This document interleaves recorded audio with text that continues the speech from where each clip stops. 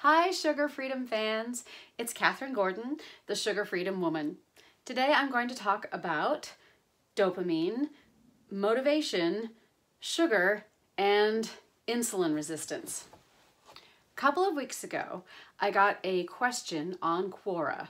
The question was, how can I get myself to care about my weight?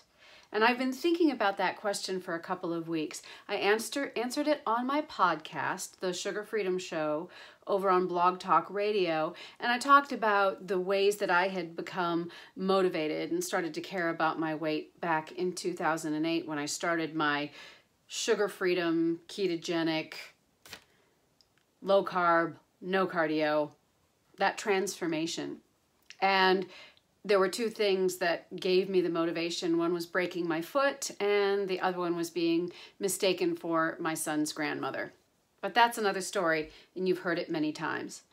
I kept thinking about motivation and what gets people to care about their weight and what's going on with people who have stopped caring a couple of years ago, January, two years ago, January, I went into kind of a funk for a weekend. I actually, this is the guest room, and I spent like the weekend in that bed crying.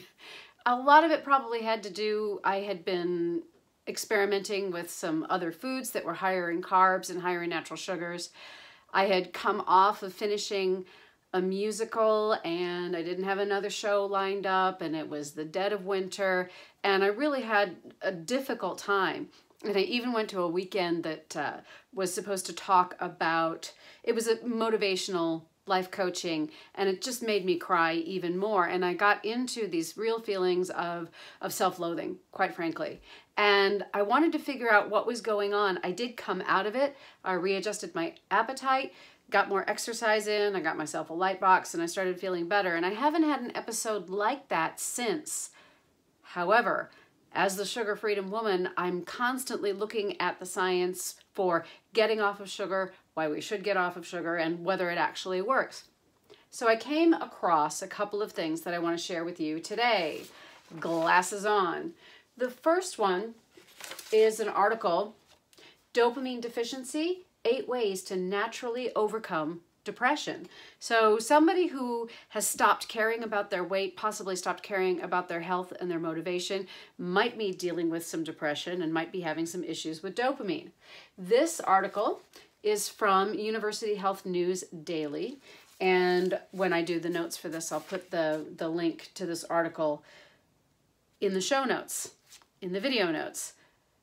One of the things that was fascinating that happened when I read this article is there were a bunch of responses, comments from people who were dealing with uh, depression, procrastination, these kinds of deficiencies. And their stories were very, very moving. The compassion in the comments, really fascinating. So you might want to take a look at some of the comments. What I'm going to offer to you today is some of the early notes in the article, which I think can be very helpful and can demonstrate what the connection is between sugar, dopamine, and our behavior. Treating a dopamine deficiency can help you take back your health. How? First, you need to understand that depression is a disease that can be caused by dopamine deficiency. In many cases, it's caused by actual physiologic changes in your brain. Therefore, when you feel depressed, don't think of it as a defect in your personality. Rather, think of depression as you would any other illness. If you had a broken bone, you would need to wear a cast to stabilize the bone while it heals. Likewise, if you have depression, you need to address the underlying root problem in your brain, and one of those underlying root problems just might be a dopamine deficiency. I'm going to break in here with my own insights. One of the things that I discovered when I was writing Sugar Freedom and in my continuing research on sugar is this concept of dopamine resistance, which is often found among people who are obese and people who have been obese in the past, past like me, is that we can, that there have been studies looking at the uh, brains of people who've been obese and seeing uh, disruption in their dopamine sensitivity.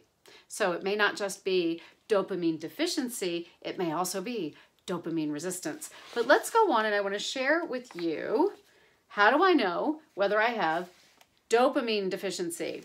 All right, so here are 14 dopamine deficiency symptoms. Here we go. Number one, lack of interest in life. Two, decreased motivation.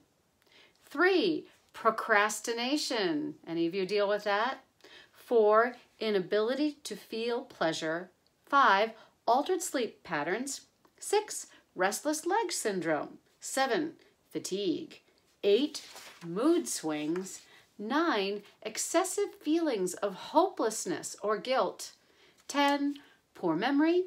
11, inability to focus, impaired concentration. 12, impulsive or self-destructive behaviors, spending too long on Twitter and Facebook, that would be mine.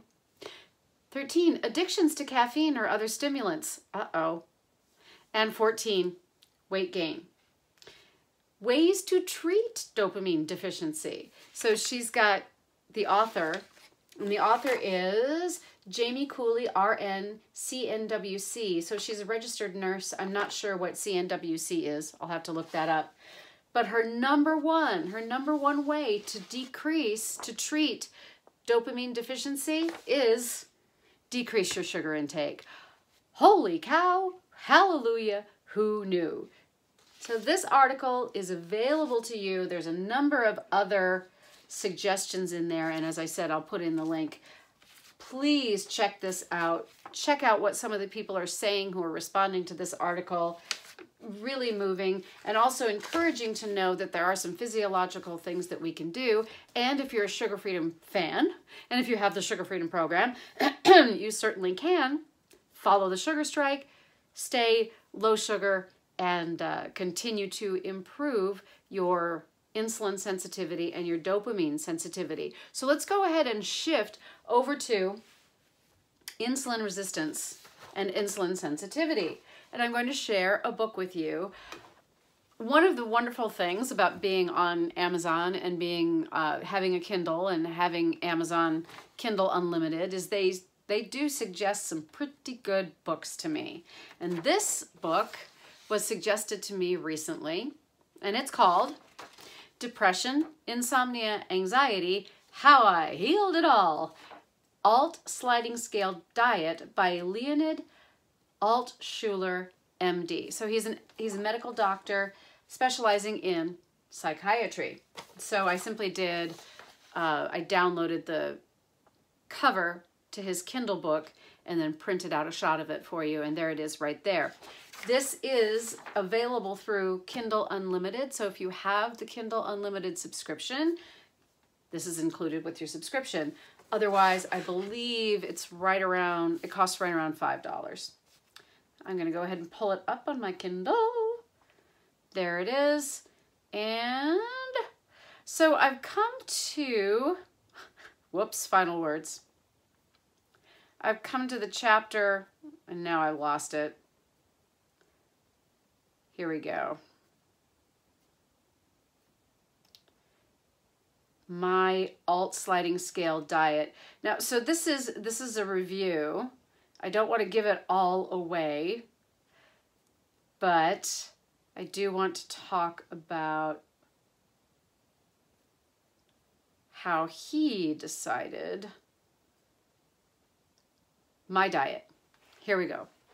And this is Dr. Altshuler's description. So he's he's an MD, he's a psychiatrist, but he has also dealt with the difficulties of dealing with insulin resistance. My experience with my patients showed me that my diet is very effective for treatment and prevention of mental illnesses like depression, anxiety, and insomnia. It does it by improving insulin resistance in the body and in the brain. I initially developed my diet for the treatment of my hypertension. I treated it successfully, completely recovered, and noticed that in the process of the treatment, I started feeling much better emotionally, no longer felt tired and anxious, my sleep improved, and overall energy levels. I felt that my attention, concentration, ability to stay focused, ability to enjoy pleasure, motivation, all improved noticeably. I also noticed a huge improvement in my memory and ability to learn. I recovered my motivation and got involved in many activities. I had some sense that I was kind of half asleep for some years, not really living my life fully. I felt bad for the time wasted and my inability to find a solution long ago. But I'm happy that I finally got to the bottom of the problem and solved it, coming out as a winner. Everything could have been much worse for me if I did not find a cause and a solution. So I want to dig in a little bit to what he's talking about here. He is a medical doctor, he's a psychiatrist, he's been dealing with hypertension, even though he's at a normal weight and he can't understand what's going on. And he begins to study the action of insulin in the body, the action of insulin resistance in the brain, and he discovers answers which he then applies to his diet. This is his work. So I just want to say a few things about his work and as, as a reviewer and not go too far into it, but his solution. And when I got the book, I didn't know what his solution was going to be. I had no way of knowing whether he was going to say, give up red meat. You never know. His solution was instead of resist, resist, restricting or controlling carbohydrates, he went ahead and gave them up for a particular period of time. So he did not control calories or amounts, but he did take out the carbohydrates. He'd already gotten off of sugar, but his protocol was for a specific period of time, he ate meat, eggs, cheese, animal products, basically eliminating carbohydrates, which allowed him not to be hungry and not to feel restricted in terms of how much he ate. So he went ahead, ate as much as he wanted of meat, eggs, and cheese, and then made his transition into the nutrition program that suited him. Sounds a little bit similar to the way we do the sugar strike and then we trans transition into long-term sugar freedom. You get off of the sugar, you lose the weight you need to you lose the weight that you need to lose, you start to feel better and then you begin to add foods back in. I need to go back into the book to see if he, I know that it was at least 30 days that he followed his pretty much zero carb protocol and then added the other foods back in. The idea was, and I'm not just hearing this from Dr. Altshuler, I'm hearing this from other, other MDs and other researchers that there is an opportunity, and I believe Dr. Jay Wrigley talks about this as well, that if we can get off of the sugar and the starches and the carbohydrates, the glucose dependence, if we can get off of it long enough, sometimes we can heal our insulin sensitivity and then we can go back into a little bit more varied, a little bit more varied traditional diet to live the life being going out to restaurants and being with family and not narrowing our food choices down quite so much.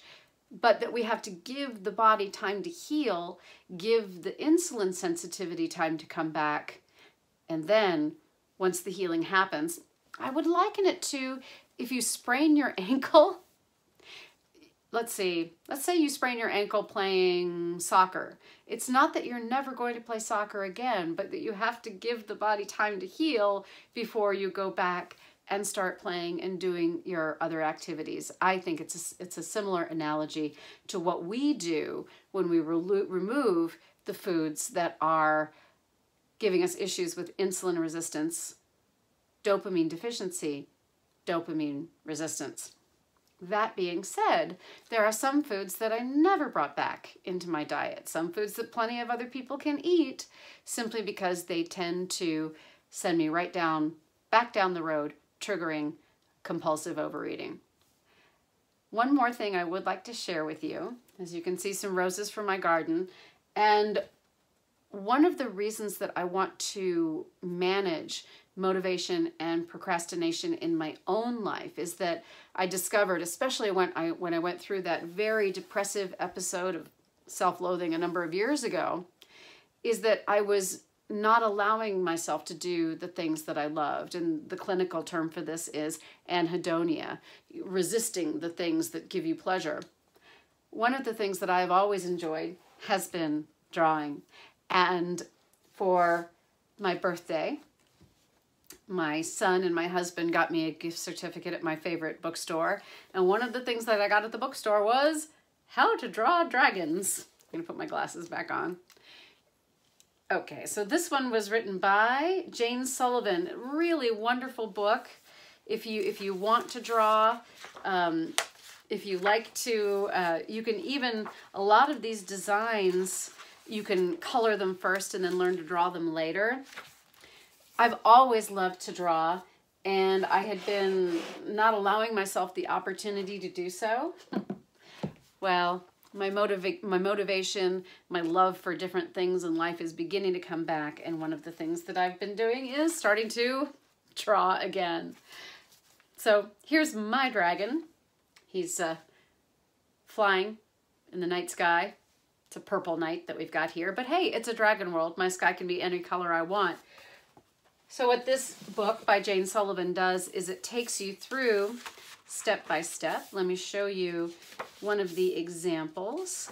You start simply with a simple line drawing and then add other elements and then add color and really you can learn to draw. So here's the, the soaring dragon and as you can see it starts very simply just with a couple of lines, and then you go into colors and more elaborate drawings.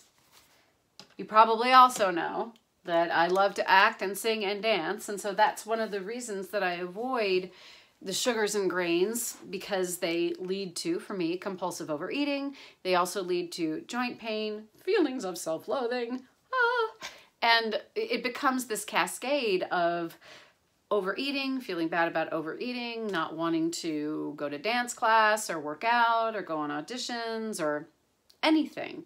And so we have to turn that cycle around. One of the ways we can do it is get all of the impulse and the trigger foods out, whether that's Sugar Freedom three day sugar strike or the alt sliding scale diet where you would eliminate pretty much all carbohydrates.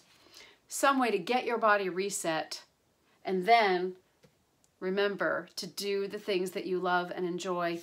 Do them as an amateur. The root of the word amateur is love. Do things for love. Do things that you enjoy and then fuel them with the healthy food that suits your body. I hope you enjoyed this podcast. I hope you will like it, possibly share it, especially if you know somebody who is thinking about getting off of sugar and grains who knows? You may know somebody who's thinking about going keto, going carnivore even, and you might want to send them in the direction of some information from uh, medical doctors like Dr. Altshuler, or also when people want examples of individuals who have gotten off of sugar long term and are enjoying life. That would be me. Thanks everybody for tuning in, and we'll see you soon here on the Sugar Freedom Channel. Bye bye, everyone.